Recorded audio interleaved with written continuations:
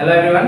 Hello, sir. So today again I have some word that I am going to explain that you have to use. Okay. Okay, sir.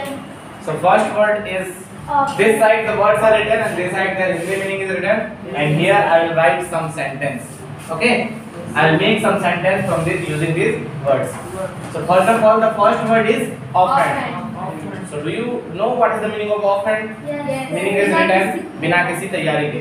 Suppose you are going for the exam बिना किसी तैयारी के you have to say I went to the examination hall offhand I went to the examination hall Offhand. I went on the stage on the stage Offhand. Offhand stage offhand offhand my stage पे बिना किसी तैयारी के गया। Is it clear yes sir so sometimes you go to deliver your speech and you prepare for that and suppose you are going without preparing anything then in that case you can say I went to the I went on the stage offhand okay the second thing overcast overcast means बादलों से भरा हुआ। You can see the sky right now the weather is overcast okay overcast means बादलों से भरा हुआ।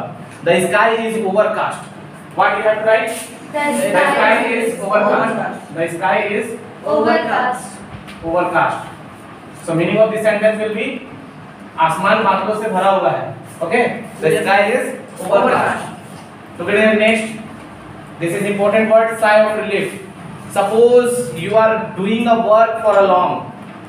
बहुत लंबे टाइम से तुम कोई का, काम कर रहे हो okay and then after doing after completing that work you are taking a deep breath so this is sigh of relief. Okay? This Yes, is sigh of relief. So uh, you can make a sentence from this word. After completing my work i took a sigh of relief. Okay? After completing my work after completing after completing my job my work i took took a sigh of relief. Sigh of मैंने अपना काम पूरा करने के बाद चैन की सांस ली। Is it clear next word is fond of fond of mean shopping you may be the fond of other thing you may be the fond of other thing I may be the fond of different different kind of thing okay सब